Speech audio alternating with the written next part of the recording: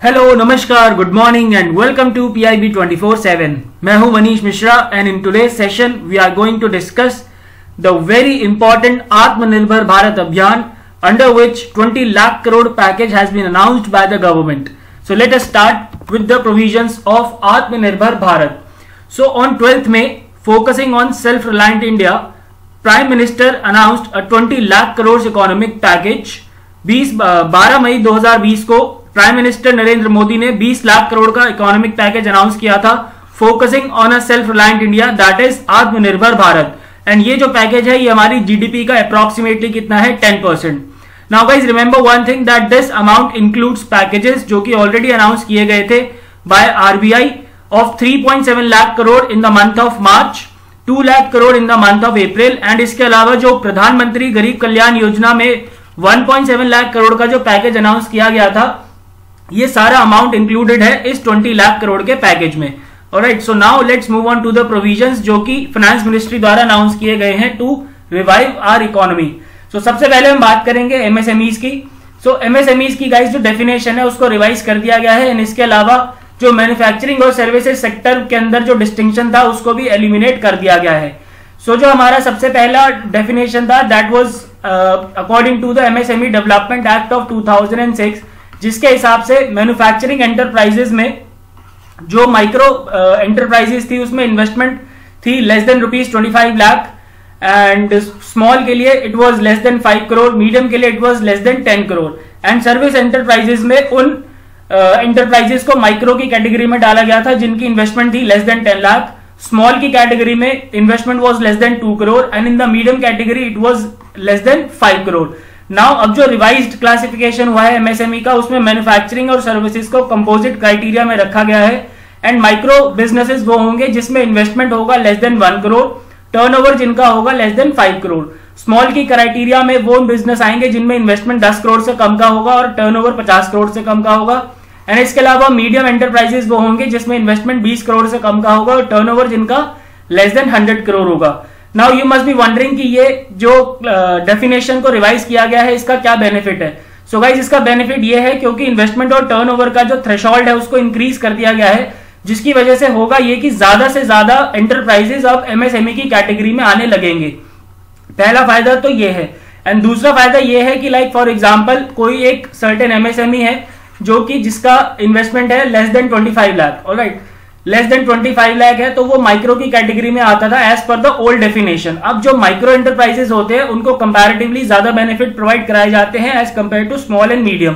so वो अपनी investment को इंक्रीज नहीं करता था ताकि उसको ज़्यादा से ज़्यादा बेनिफिट मिल सके ओके बट क्योंकि अब जो माइक्रो का इन्वेस्टमेंट क्राइटेरिया है, उसको बढ़ा के वन करोड़ कर दिया गया है तो ये जो एमएसएमई ओनर होगा, जिसकी इन्वेस्टमेंट अभी 25 लाख से कम है, वो उसको बढ़ा के लेस देन वन करोड़ तक लेके आएगा।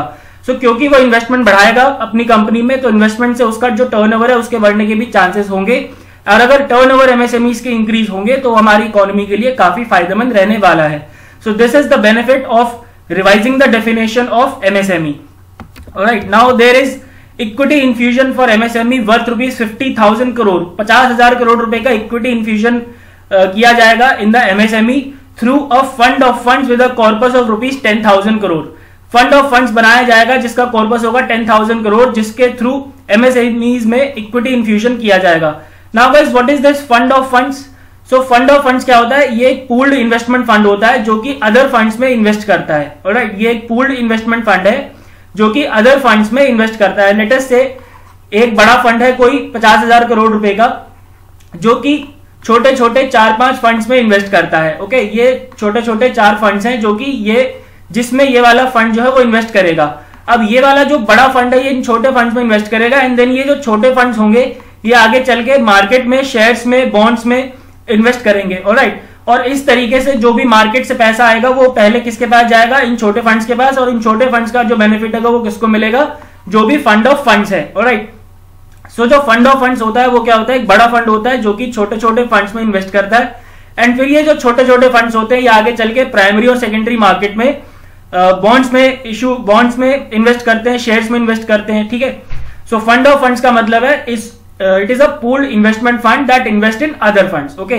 and ये जो टेन थाउज़ेंड करोड़ का कॉर्पस है, ये ऑपरेट किया जाएगा through a mother fund and few daughter funds so एक मदर फंड होगा, कितने रुपए का? टेन थाउज़ेंड करोड़ रुपीज़ का एंड लेटर से there are five daughter funds मान लेते हैं कि पाँच डॉटर फंड्स होंगे of two thousand crore each okay ये पाँचों जो है हमारे डॉटर फंड्स ये कितने के होंगे? टू थाउज़ेंड करोड़ के। अब ये जो टू थाउज़ेंड करोड़ के डॉटर फंड्स हैं, ये आगे चल के एमएसएमई के जो इक्विटी होंगी शेयर्स होंगी, उनमें ये इन्वेस्ट करेंगे और राइट और इस तरीके से फिफ्टी थाउज़ेंड करोड़ रुपीज़ का जो फंड है, उसको लीवरेज किया जाएगा with this mother fund and few daughter funds right now you must be remembering कि ये दस हज़ार करोड़ से पचास हज़ार करोड़ रुपए कैसे बनेंगे। सो so गाइस जब ये इन्वेस्ट करेंगे राइट जब ये इन्वेस्ट करेंगे तो उससे उनको बेनिफिट भी मिलेगा और वो बेनिफिट बढ़ते बढ़ते धीरे धीरे अनुमान है कि पचास हज़ार करोड़ रुपए तक का बेनिफिट प्रोवाइड कराया जाएगा इकोनॉमी को राइट सो इस तरीके से इस टेन थाउज़ेंड करोड़ के फंड ऑफ़ फंड से फिफ्टी थाउज़ेंड करोड़ रुपीज़ के फंड को लिवरेज किया जाएगा। एंड आई होप आपको फंड ऑफ़ फंड्स का जो कॉन्सेप्ट है वो क्लियर है। फंड ऑफ़ फंड सबसे पहले अनाउंस किया गया था by U K Sinha committee and इसको अनाउंस किया था in this year's union budget union budget 2020 में इसको सबसे पहले अनाउंस किया गया था and it was recommended by U K Sinha committee so MSMEs में इक्विटी इन्फ्यूजन किया जाएगा worth rupees fifty thousand crore इसके अलावा जो स्ट्रेस्ड एमएसएमईज हैं स्ट्रेस्ड एमएसएमईज का मतलब गाइस ऐसे एमएसएमईज हैं जो कि जिनके पास एनपीए बहुत ज़्यादा हो चुका है, जिनके पास लोन चुकाने का सामर्थ्य नहीं है, या फिर जिनका जो लॉस है वो बहुत ज़्यादा बढ़ चुका है। ऐसे एमएसएमईज के लिए ट्वेंटी थाउज़ेंड करोड़ रुपए का सबॉर्डिनेट डेट देने का प्रोविज़न दिया गया है। Now you must be remembering wondering that what is subordinate debt so guys it is an unsecured debt that runs below other debts now let us say there is N MSME इसको एक example से समझते हैं। एक MSME है जो कि जिसमें बैंक ने इन्वेस्ट किया है। ओके बैंक से उसने लोन लिया है। एक दूसरे इन्वेस्टर से लोन लिया है जो कि अनसबॉर्डिनेटेड है और एक तीसरे इन्वेस्टर से लोन लिया है जो कि सबॉर्डिनेटेड है। राइट अब मान लेते हैं कि ये जो एमएसएमई है, ये लॉस में चली गई और अब इसको लिक्विडेट होना है। तो जब ये लिक्विडेट होगा और जब इसके एसेट्स बेचे जाएँगे तो सबसे पहला जो पैसा मिलेगा वो किसको मिलेगा? बैंक्स को मिलेगा। उसके बाद मिलेगा अनसबॉर्डिनेट अनसबॉर्डिनेट क्रेडिटर्स को एंड फाइनली जो पैसा मिला, दिया जाएगा,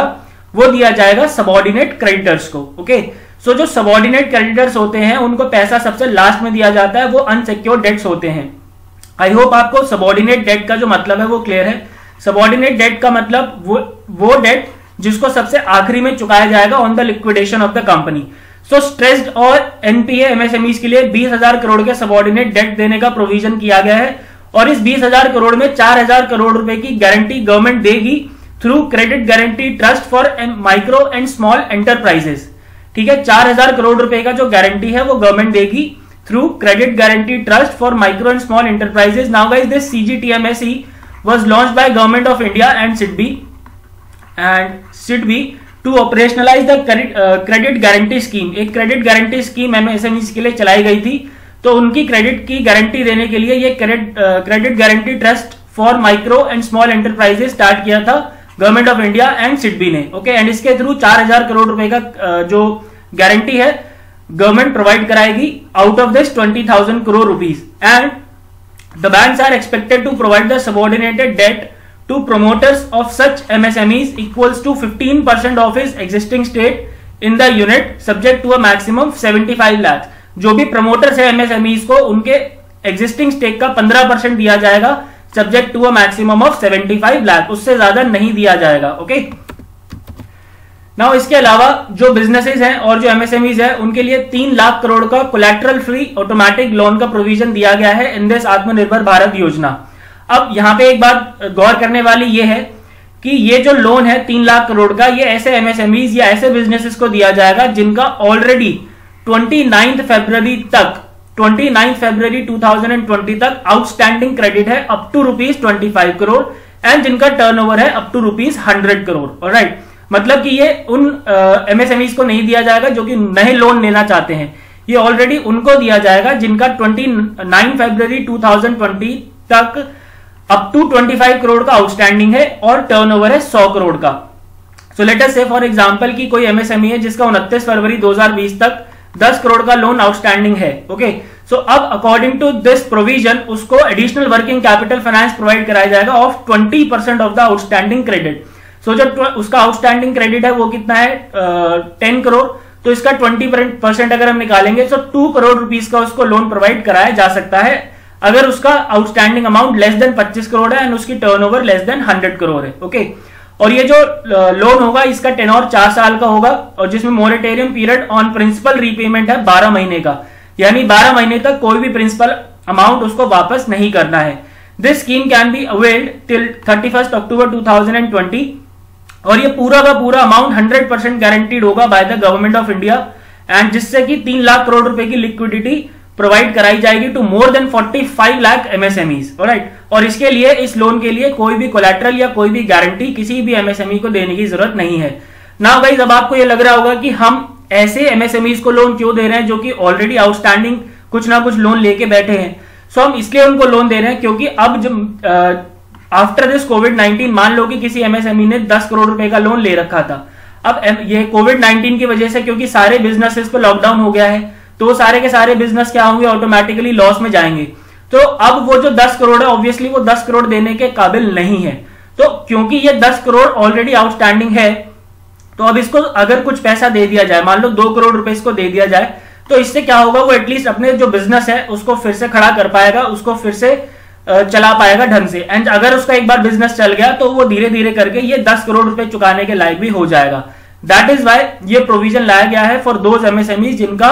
ऑलरेडी आउटस्टैंडिंग क्रेडिट है राइट नाउ इसके अलावा कुछ और इंटरवेंशन भी किए गए हैं एमएसएमईज के लिए like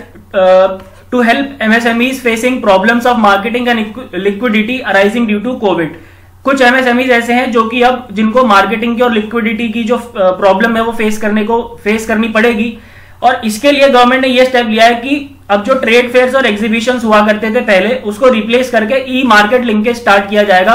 फॉर एमएसएमईज ताकि वो अपने प्रोडक्ट्स की मार्केटिंग कर सके। And fintech will be use to enhance transaction based lending using the data generated by the e market place और जो भी ड्यूज है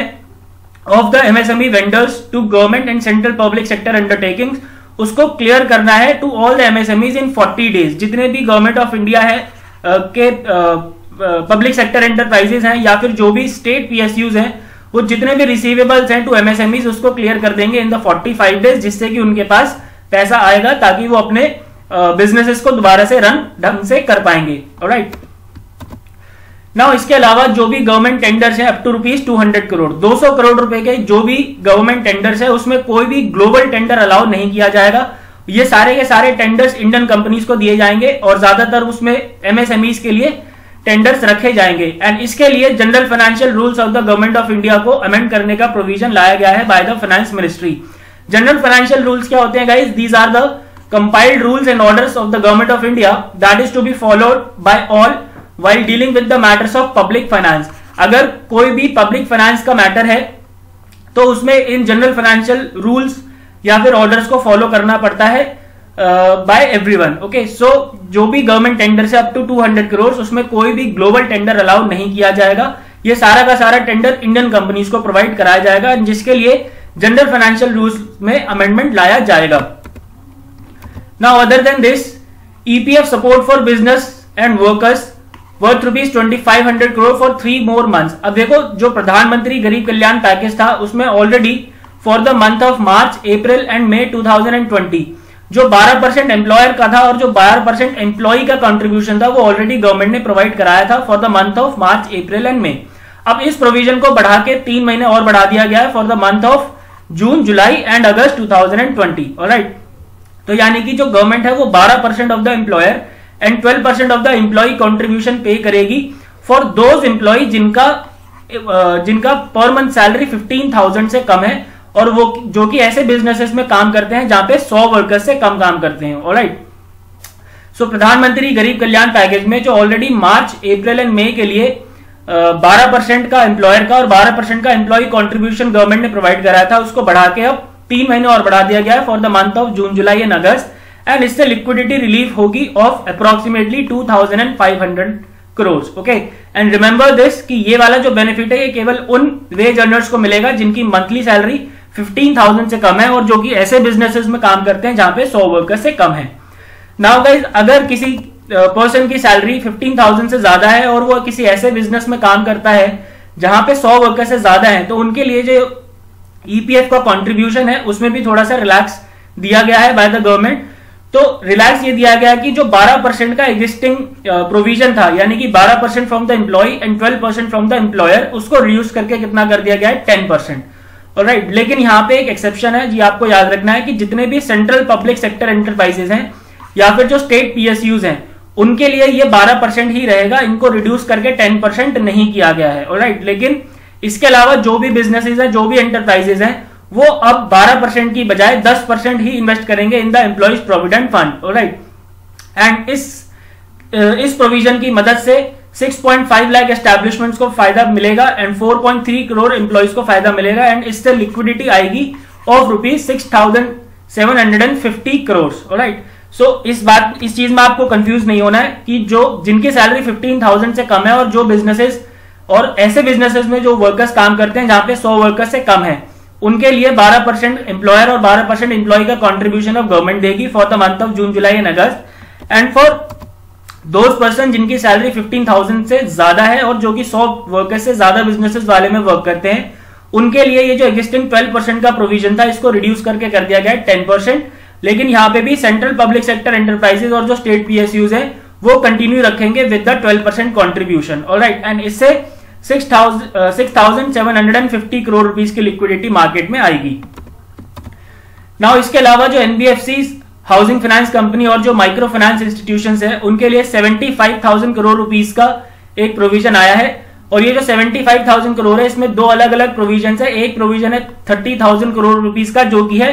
स्पेशल लिक्विडिटी स्कीम और राइट ये क्या है? स्पेशल लिक्विडिटी स्कीम है। इसमें जो गवर्नमेंट है लॉन्च करेगी of thirty thirty thousand crore का special liquidity scheme government launch करेगी। और इसमें होगा ये कि जो गवर्नमेंट है वो प्राइमरी और सेकेंडरी मार्केट ट्रांजैक्शन में इन्वेस्ट करेगी in the investment grade debt paper of NBFCs एचएफसीज and MFIs now what is this investment grade debt paper so debt का मतलब तो क्लियर है जो भी डेट होगा ऑफ़ दीज एनबीएफसीज एचएफसीज एंड एमएफआईज उसमें गवर्नमेंट इन्वेस्ट करेगी लेकिन केवल उन्हीं डेट में इन्वेस्ट करेगी जो कि इन्वेस्टमेंट ग्रेड के हैं। Now what is this investment grade So guys, investment grade refers to the quality of a company's credit. Okay, it refers to the quality of a company's credit. And अगर कोई company अपने आप को investment grade कहलाना चाहती है तो उसको स्टैंडर्ड एंड पुअर का ट्रिपल बी वाला जो रेटिंग्स है वो कम से कम लेना पड़ेगा अगर कोई कंपनी ट्रिपल बी रेटिंग्स में है of the Standard and Poor's तो वो इन्वेस्टमेंट ग्रेड की मानी जाती है और उसके अंदर इन्वेस्ट करना थोड़ा सा सेफ़ माना जाता है सो so, ये जो तीस हज़ार करोड़ का स्पेशल लिक्विडिटी स्कीम है ये केवल उन एनबीएफसी एचएफसी और एमएफआई के लिए है जिनका डेट पेपर इन्वेस्टमेंट ग्रेड का है right and these NBFC are those which have been funding the MSMEs so to keep the network of MSMEs operations this measure will help अब क्योंकि government इस इनके इन्वेस्टमेंट ग्रेड डेट पेपर में invest करेगी और ये एनबीएफसी आगे चल के फिर किसमें इन्वेस्ट करेंगे? एमएसएमईज में। तो जो एमएसएमई का ऑपरेशन है वो कैरी फॉरवर्ड होता रहेगा। एंड इसके अलावा जो बाकी 45,000 करोड़ हैं वो प्रोवाइड कराए जाएँगे through partial credit guarantee scheme और 2.0 पार्शियल क्रेडिट गारंटी स्कीम 2.0 जो इससे पहले पार्शियल क्रेडिट गारंटी स्कीम चल रही थी, उसको रिवान कर दिया गया है। And now it will be extended to cover the borrowings of lower rated NBFCs एचएफसीज and MFIs also जो भी लोअर रेटेड एनबीएफसीज है एचएफसीज है और एमएफआईज है, उनके अंदर भी अब ये partial credit guarantee scheme provide कराई जाएगी, जिसका जो पहला 20 परसेंट का लॉस होगा। First 20 percent of the loss will be the government of India and this scheme will result in the liquidity of rupees forty five thousand crore now for discoms the distribution companies अब जो power finance corporation है और जो rural electrification corporation है it will infuse liquidity in discoms to the extent of rupees ninety thousand crore जो power finance corporation और rural electrification corporation है, वो डिस्कॉम्स में नब्बे हज़ार करोड़ रुपए का लिक्विडिटी इंफ्यूज करेगी। ताकि जो डिस्कॉम्स हैं वो अपने पेएबल अमाउंट्स को जो भी उनका ड्यूज है to the transmission companies and generation companies उनको वो पे कर पाए। और अभी तक जो डिस्कॉम्स का पेएबल है to power generation and transmission company वो अप्रोक्सीमेटली 94,000 करोड़ का है। अब ये जब 90,000 करोड़ इन डिस्कॉम्स को मिल जाएँगे तो वो अपने ड्यूज को खत्म कर सकते हैं। Now guys remember one thing that electricity में तीन तरीके की कंपनीज़ होती हैं। एक होती है जेनकोस जेनकोस का मतलब होता है power generating companies like NHPC and NTPC right इसके अलावा एक होती है transcos so trans company transcos का मतलब है ट्रांसमिशन कंपनीज़ ट्रांसमिशन कंपनीज़ के एग्जांपल है जैसे कि PGCIL okay power grid corporation of India limited and इसके अलावा होती है डिस्कॉम्स डिस्कॉम्स का मतलब होता है डिस्ट्रीब्यूशन कंपनी जैसे कि BSES Rajdhani power limited BSES Yamuna power limited alright so there are three types of companies in electricity genco power generate generation companies transco transmission companies and discom that is distribution companies so distribution companies के लिए नब्बे हज़ार करोड़ रुपए का एक provision लाई है government ताकि वो अपने जो भी ड्यूज हैं to the transmission and generation companies उनको पे कर सके। राइट ना इसके अलावा कॉन्ट्रैक्टर्स के लिए भी एक प्रोविज़न आया है कि जितने भी सेंट्रल एजेंसीज हैं लाइक रेलवे हो गई ministry of road transport and highway हो गई, ये जितने और सीपीडब्ल्यूडी हो गए तो जितने भी कॉन्ट्रैक्चुअल ऑब्लिगेशन है, उनको छह महीने का एक्सटेंशन दिया जाएगा including EPC and concession agreements EPC का मतलब होता है engineering procurement and construction and जो भी कंसेशन एग्रीमेंट्स है, उसमें छह महीने का एक्सटेंशन प्रोवाइड कराया जाएगा by all the central agencies क्योंकि छह महीने का एक्सटेंशन इसलिए उनको दिया गया है क्योंकि अभी ड्यूरिंग द लॉकडाउन इन सबका जो कंस्ट्रक्शन वर्क था, वो बंद पड़ा था। तो क्योंकि उनको लॉस हुआ है, जिसकी वजह से उनको छह महीने का एक्सटेंशन प्रोवाइड कराया गया है। Now let's talk about the tax related measures so guys for all non salaried payment to residents जितनी भी नॉन सैलरीड पेमेंट्स होगी टू रेजिडेंट्स उनके लिए जो टीडीएस है और टीसीसी है, यानी कि tax deducted at source and tax collected at source का जो रेट है उसको रिड्यूस कर दिया जाएगा by 25 percent and this will be applicable for the remaining period of the financial year 2021 and this will provide a liquidity to a tune of approximately 50,000 crore रुपए की लिक्विडिटी आने का अनुमान है इससे। एंड इसके अलावा जो भी इनकम टैक्स रिटर्न है फॉर द असेसमेंट ईयर 2020-21 उनकी डेट को बढ़ा के 30 नवंबर 2020 कर दिया गया है। And similarly the tax audit due date will be extended to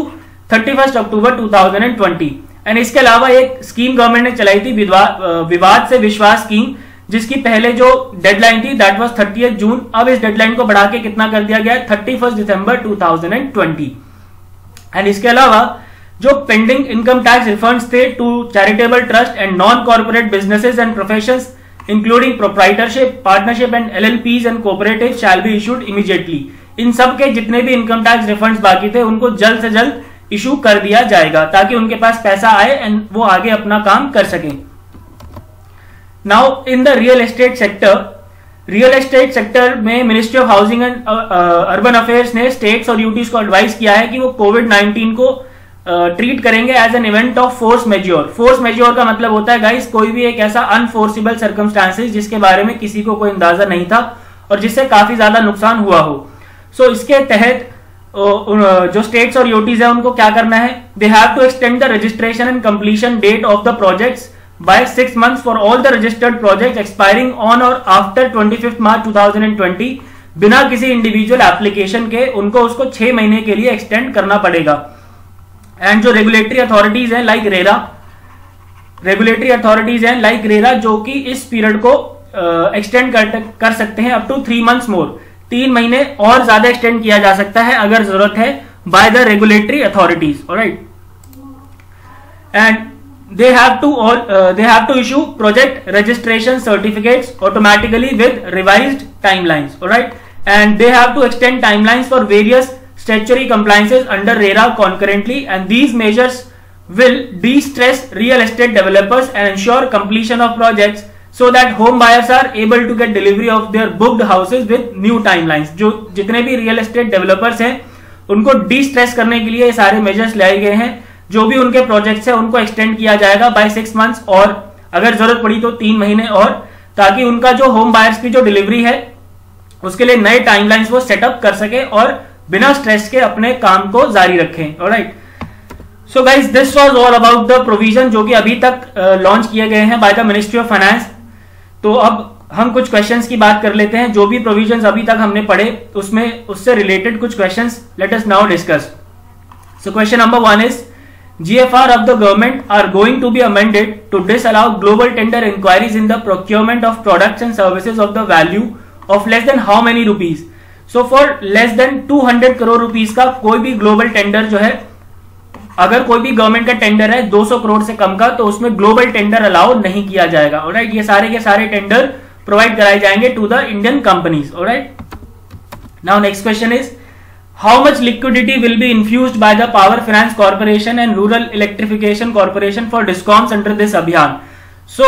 a liquidity of 90,000 crore rupees will provided to the discoms ताकि जो भी वो अपना ड्यूज है वो अपना पे कर सके। So there for the correct option will be option C rupees ninety thousand crore rupees का लिक्विडिटी प्रोवाइड कराया जाएगा। Now next question is how much amount one second guys yes how much amount of special liquidity scheme is announced by the government for NBFCs, HFCs and MFIs. So special liquidity scheme के तहत 30,000 crore rupees दिए जाएँगे and इसके अलावा 45,000 crore rupees और दिए जाएँगे under the partial credit guarantee scheme 2.0. So under special liquidity scheme 30,000 crore rupees का प्रोविज़न प्रोवाइड कराया गया है to all the NBFCs एचएफसीज and MFSI and MFIs next question is under the relief to contractors all central agencies like railway ministry of road transport and highways and CPW D will provide an extension of up to how many months for completion of contractual application including in respect of EPC and concession agreement so जितनी भी central agency है, वो contractor को छह महीने का relief provide कराएँगी अपने project को कंप्लीट करने के लिए। Now next question is for the financial year two thousand and twenty one how much reduction in rates of tax deducted at source and tax collected at source is announced under Atmanirbhar Bharat Abhiyan. So the reduction of 25% has been announced under Atmanirbhar Bharat Abhiyan for TDS and TCC. Now next question is under the Atmanirbhar Bharat Abhiyan, definition of MSMEs will be revised where distinction between manufacturing and services sector to be eliminated. So we have to consider these statements regarding the new definition of MSMEs and identify which of the following statements are correct. So enterprises whose investment is less than 1 crore and turnover less than 5 crore are micro. Yes, this is absolutely correct. Investment less than 10 crore and turnover less than 50 crore are small. Yes, this is also correct. And investment less than 20 crore and turnover less than 100 crore are medium. So all the statements are absolutely correct guys. So therefore option E will be the correct answer to this question. Now next question is EPF contribution to be reduced for employers to 10% each from existing 12% each for all establishment covered by EPFO for next three months except. अगले तीन महीने के लिए जितने भी companies है, जितनी भी एस्टेब्लिशमेंट है, उनका जो ईपीएफ कंट्रीब्यूशन है, उसको 12 परसेंट से घटा के 10 परसेंट कर दिया गया है except central public sector enterprises and state PSUs okay so there for the correct answer will be option D A and B now next question is Under Atmanirbhar Abhiyan, two schemes are announced to support NBFCs and HFCs of rupees 75,000 crore, which are the schemes. So 30,000 crore under special liquidity scheme and 45,000 crore under partial credit guarantee scheme 2.0. So therefore, the correct answer to this question will be option uh, B. 1 and 3 will be the correct answer. Now next question is Power distribution companies, DISCOMs will be infused liquidity to the extent of 90,000 crore in two installments. This amount will be used for DISCOM by DISCOMs for what? तो ये जो है amount use किया जाएगा ताकि वो जो अपने ड्यूज हैं to the generating companies and the transmission companies उसको खत्म कर सके so there for the guys the correct answer is to pay their dues to transmission and generation company so option D is absolutely correct right so guys that's it for the session I hope आपको session समझ में आया होगा. For more updates do subscribe our channel and press the bell icon इसके अलावा और भी provision announce किए जाएँगे बाय द गवर्नमेंट जो कि हम आगे आने वाली वीडियोस में लेके आएँगे. सो so, देखते रहिए PIB twenty four seven thank you so much for watching goodbye take care and God bless